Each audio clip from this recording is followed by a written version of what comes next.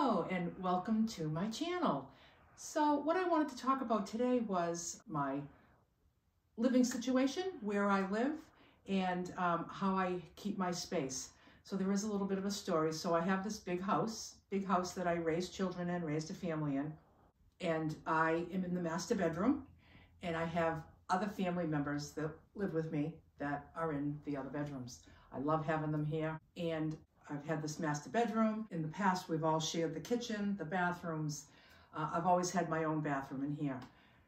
So I started van life about five years ago, and I really learned how to live in a small space.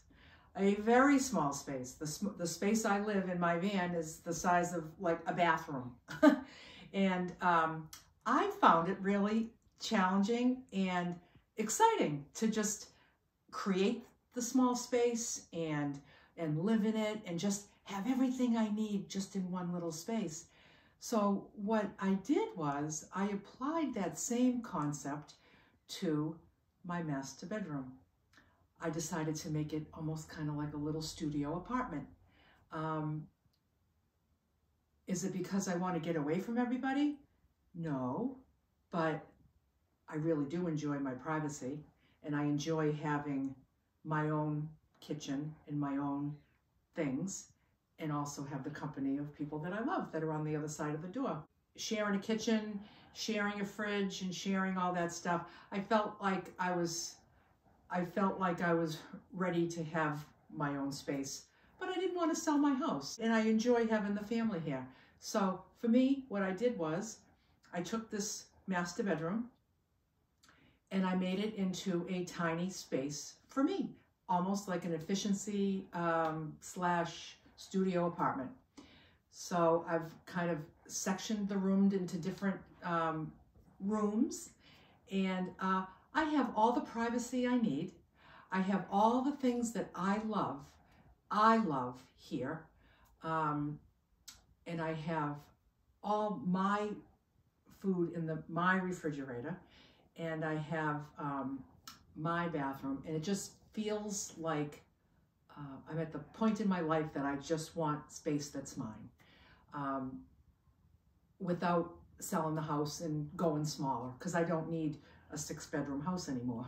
But I actually do because I have people that are utilizing all that space. Lovely people, lovely situation. It's really working well. But I can close this door and I'm totally self-sufficient in this in this master bedroom. Um, I could just, I could not go out there all day, although I typically choose to because I like to say hi to people. but then I like to come here. And you know, we all like our privacy, so everybody has their, their rooms and their private space. Works, it just works wonderful. It's just a win-win for all of us. Uh, so this is my living room. This is the living room. I love my chair. I love my recliner. Um, I'm not a big, huge fan of recline, recliners. I don't typically like the way that they they look, but this one was nice and trim and, and wasn't too puffy and it's nice and comfy and um, it works really well for me. But what I like is I like to have everything I need right around me and um, I, I need things to not take up too much space. Now this little table right here is really like a foot by a foot and I found it at a thrift store for $5. And it takes up very little real estate and it holds all my books. And this is where I typically have my dinner. And um, I got my, my favorite pencils. I have a wastebasket right here. I have all my plants around me. I love lamps. All my lamps come from thrift, stores. And uh, there's that wall lamp. And there's this floor lamp that's just gorgeous. I love it. And I just love light. And I also have a light bulb that my son bought for me for a, um, a gift. And it's, I can do it by my phone here and I can make it any color I want. I can pick any color. It's like hue, Philips hue or something like that. Um, it's, it's, it's a really cool thing. He got me the light bulb and the, and then I, you just download the app and I can make this red. I can make it green, blue, yellow, golden. It's wonderful. This is where I keep my, my laptop and I do a lot of Zoom calls. I like to socialize with Zoom. What this little table provides me is the space to put this here so I can have a Zoom session. I can do some filming from here uh, with this background that I enjoy so much. Uh, and all I did, I just had this old wooden stool in the garage. I took an old piece of wood and I screwed it to the top of the, the top of the stool and I just covered it with fabric. That's all I did. And this right here is a, uh, an old hassock and um, it was the ugliest thing. I got it at a uh, thrift store for a couple bucks and I covered it with fabric. Um, that's for the cat. So my cat sits here and I got my little thing here and then I just have everything placed just where it needs to be so that when I put my legs up, nothing gets hit, nothing gets moved. And here you go. It's a good life. It's a good life. Now, a friend of mine was getting rid of some furniture and I thought these nightstands were just so lovely. I love the glass tops and they're wicker and they weigh a ton. They're a really good quality. Um, so I put this on this side, holds my tissues, my uh, writing things, and of course a fan because uh, that's on and off all day long to manage the um, the uh, temperature fluctuations of a senior woman. And then I just keep I just keep all things in here that I might need. And this is my living room. And you know, there's not many things that I have in my room that uh, that don't mean something. Everything is either something that means something to me, something that has a story, or something that I just love to look at. So up here on this shelf, I have plants, which I love. I love plants. Um, this clock right here was uh, a gift from the company that I retired from. Um, it's all it's engraved with my name, thanking me for service. Uh, many many years of service. They served me well. I served them well. Right next to it, what's really another thing that's really special to me is this jar. It's called a gratitude jar, and my son bought me that for a gift. He gives very very very thoughtful gifts. It has a little stack of paper, a little stack of paper, and a little pencil and you just open it. You can write things that you're grateful for and put them in the jar. And he got me that because he knows he's got a grateful mama. He knows. And um, another thing that I just love is this picture of me when I was a little, little, little girl. That's little, little, little Lulu. That's little Lulu. How cute am I? Oh my God, I can't stand it. this is the bedroom. Now, here's the living room. Here is the transition into the bedroom. Now, typically, when you have a, a, a, bed in a master bedroom, it would be up against a wall. It wouldn't be shoved in a corner. It would be in the middle of a, the blankest wall with um, nightstands on either side and a headboard. But you know something? I don't do I don't do normal. I do functional. I just do more functional. So for me, having this in the corner provides me the opportunity to have a living room and a gym and a kitchen and all that. So I love this white comforter. It's just my favorite. It's just it's perfect in the winter, it's perfect in the summer. It just seems to be an all season and and it's also it's my blanket at night and it's my bedspread. And over here what I did. I just love me some thrift store stuff. Okay, so my pillows are not from a thrift store, but these covers are. So I love having these are the pillows I sleep with. These are the ones I decorate with, and I can just change those out anytime I want. I just get these little shams, these uh, pillow shams at a thrift store for a couple of dollars. I was just into orange, so I got the orange. I got this at a thrift store too for a couple of bucks. And I just thought that married well with this. Just thought it was kind of cool. And um, over there, I got that shelf at a thrift store. And what I did was I painted it the same color as the wall. So it just kind of blended right in. And then, of course, I found that Simplify uh, sign at a thrift store. And that thing on the wall is from a thrift store. Actually, the, the, the greenery was came from a thrift store in a really ugly pot horrific looking pot. And I found that, that's all metal and tin, and I love how it's a little rusty down the bottom. And I just hung that up and I said, this greenery will look great in this. So um, sometimes you have to be creative when you're looking at things in a um, thrift store. Actually, these curtains too, that are just this beautiful linen with this uh, with this lace and the rods. These curtains and the and the rods are all from thrift stores. They're just it's a beautiful linen with this lace edge and the and the rods. And just so you know what these things are, these are called Rainbow Symphony. So um, when the sun comes in here, this is the sun comes on this side of the house in the evening, and when the sun comes in, this these here create a rainbow symphony on the wall just once a day. I have them throughout the house, and at some point during the day, every one of them gets hit by the sun and creates a rainbow symphony for, you know, it's maybe five or 10 minutes, but it's fun. I like it. I like it.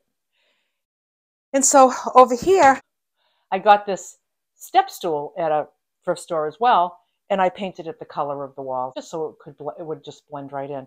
And this is for my cat so my cat can get up on the bed. And this is for my cat. I don't love having this in here, like a scratch post. Like, I don't want a scratch post in my room, but she's either going to scratch this or she's going to scratch my furniture. So I have it in here for her. And also, this is a little bed that I made for her.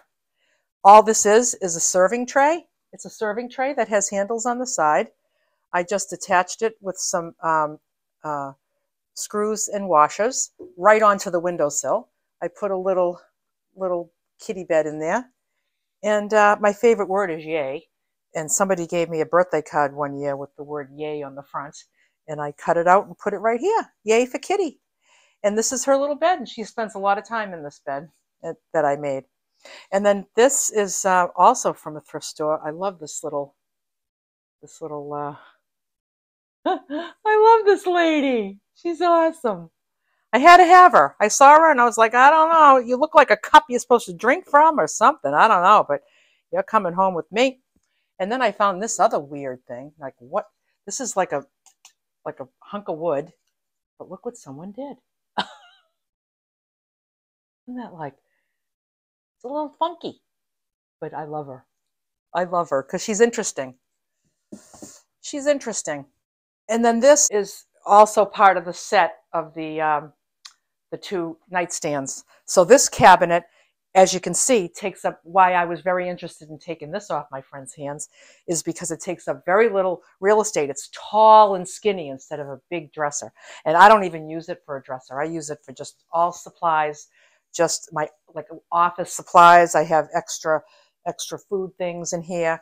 I don't use it for clothes at all and I love little lamps. And I find anytime I find a lamp, oh, I just love it. So um, those little beaded lamps, love them, love them. And I'm a big fan of the zebra. I'm a big fan of the zebra. I love zebra fabric. I love zebra everything. And found a zebra who had to live in my house at a thrift store as usual. So this area is the gym. Um, do I love the way all this stuff looks? Nah, not really.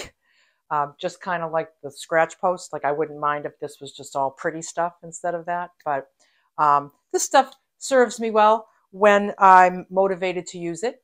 Um, I'm not going to lie and say I'm on this, use this stuff all the time. I go in and out of it. Um, so I have a, a rebounder. It was strongly advised to me by a very wise woman to get a rebounder for um, lymphatic drainage. It's, it's really good to move the lymphatic system um, is, is what the rebounder is for.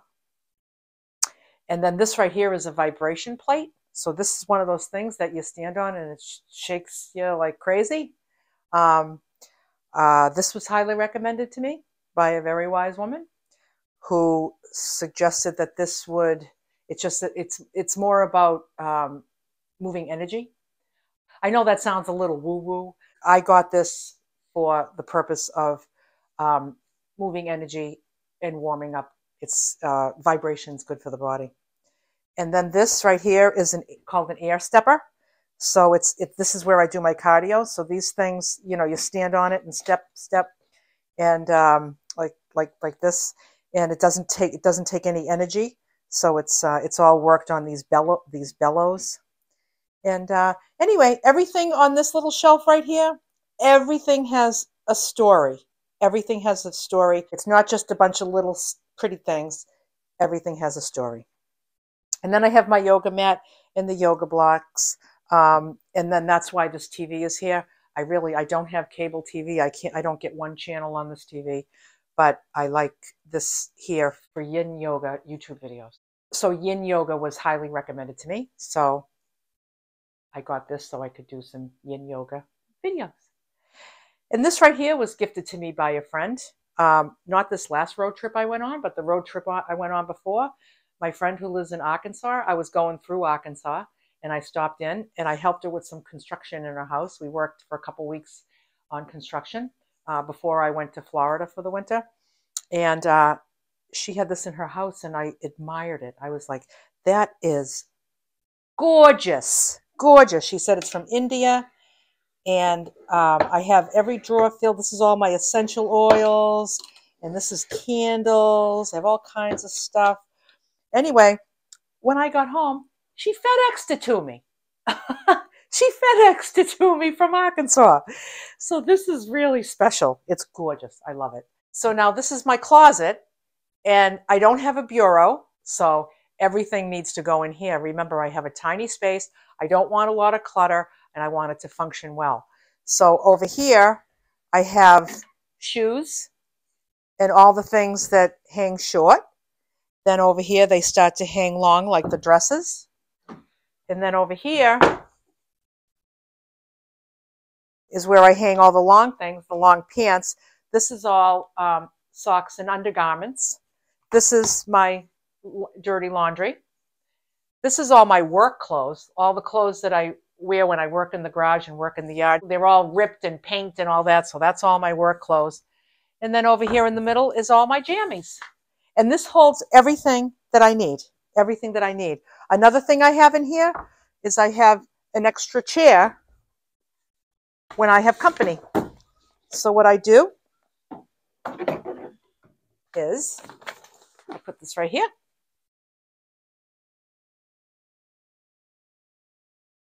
And then I, I have a guest here. And then I can just get this out of the way and put it in the closet when they leave. And they have uh, some space right here for the cup of tea. So works out good. Down this hall is the master bath.